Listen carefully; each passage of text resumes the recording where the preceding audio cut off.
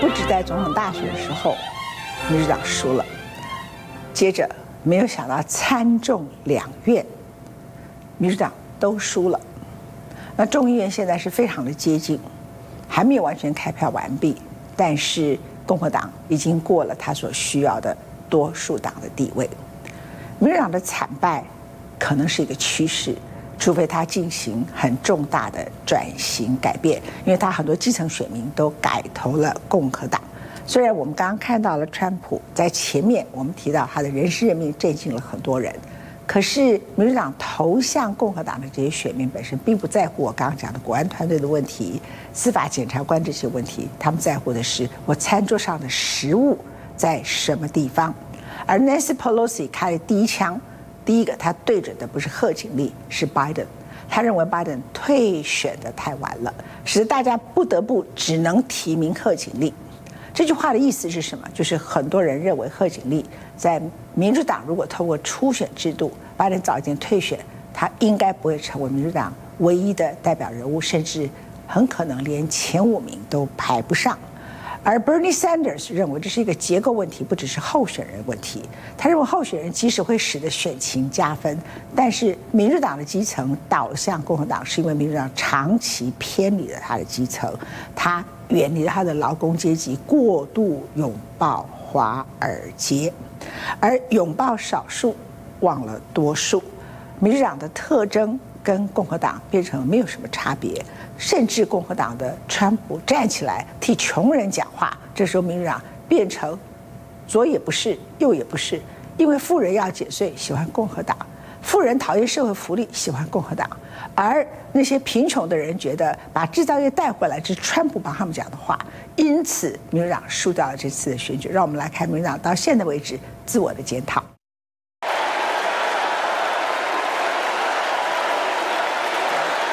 两个多月前宣布退选，交棒给副手贺锦丽的拜登，还是民主党人心目中的英雄。但在十一月五号大选结果揭晓。贺锦丽交出了一张惨败成绩单后，他的导师拜登立刻成为了众矢之的。Had the president gotten out sooner, there may have been other candidates in the race. You know, there, it was the anticipation was that that if there if the president were to step aside, that there would be an open primary. And as I say, Kamala may have. I think she would have done well in that and been stronger going forward. But we don't know that. That didn't happen. We live with what happened. 当初不顾多年情谊劝退拜登的民主党大佬佩洛西接受《纽约时报》专访，说出他认为贺锦丽的败选原因。虽然语气婉转，但大家都听得很清楚。佩洛西就是怪拜登太晚宣布退选。 because the president endorsed Kamala Harris immediately, that really made it almost impossible to have a primary at that time. If it had been much earlier, it would have been different. 佩洛西怪拜登，还有人怪贺锦丽阵营找来的助阵名人，个个都是精英富豪，不懂民间疾苦，只会对一般老百姓说教。Letting them know you ain't worth a damn unless you vote the way we say you should vote. Who's going to go for that？很明显，贺锦丽的支持者难以接受正派支持平等人权的检察官，竟然输给了一个不断贬低他人、满口谎言又官司缠身的川普。民主党内外开始互相指责，想找出罪臣泄愤。但正如进步派政坛老将桑德斯所说，民主党不是输给共和党，而是输在离主要支持群的劳工阶级越来越远。The working people of this country. are extremely angry. They have a right to be angry. In the richest country in the history of the world, today the people on top are doing phenomenally well, while 60% of Americans are living paycheck to paycheck. And millions of families worry that their kids are actually going to have a lower standard of living than they do. I've never had it so good. Where is the Democratic Party? 不仅劳工阶级选票流失，《纽约时报》分析，从大城市、市郊到乡镇，四年前出来投票给拜登的选民，今年却有很多人选择沉默。以关键摇摆州宾州为例，在民主党支持者占多数的五大郡，贺锦丽拿到的选票比拜登二零二零年少了七万八千多张，而川普则是比上次多拿下两万四千张。虽然贺锦丽还是赢了这五郡，但在选情如此焦灼下，只要自己少一票，对手多一票，就能翻转整个选情。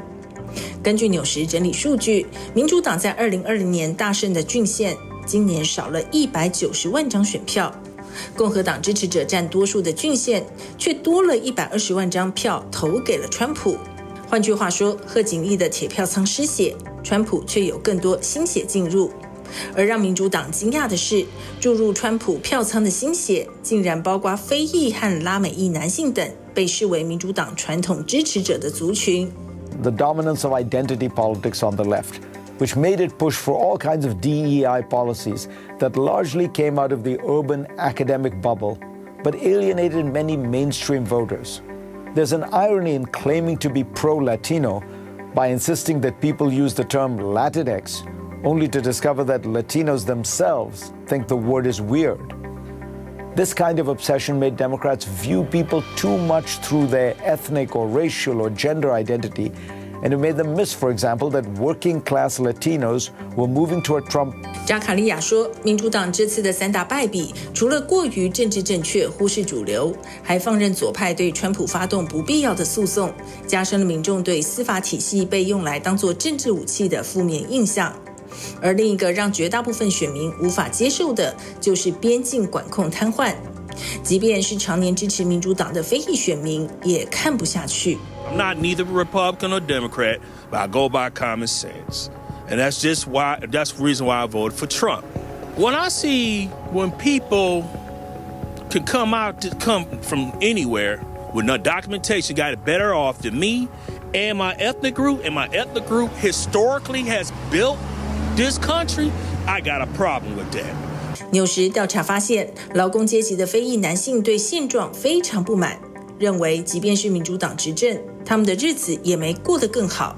而年轻的非裔男性则没有过往集体争取民权的历史回忆，没有一定要投给民主党的人情压力。事实是，贺锦丽阵营过于强调保障人权、堕胎权、捍卫民主，但这些权利能当饭吃吗 ？You as a Democrat. I don't know what our message was on immigration or on the economy. We spent a lot of time talking about democracy, but I think we were only talking to ourselves. Democracy is not a kitchen table issue for most Americans. 总统大选败北，参众两院输掉多数党地位，民主党在选后势必得花很长一段时间进行政党转型，寻找新领导人。几乎没有人认为贺锦丽有能力领导民主党。 中东战争持续扩大，乌克兰正被美国逼上谈判桌，朝鲜半岛藏着人类第一场核战的可能。民主党却在这个时间点，除了拥护堕胎权，没有任何新主张。美国是以开发国家中唯一没有左派政党的国家。二十世纪下半叶，民主党开始把自己推向一个和共和党差异不大的政党。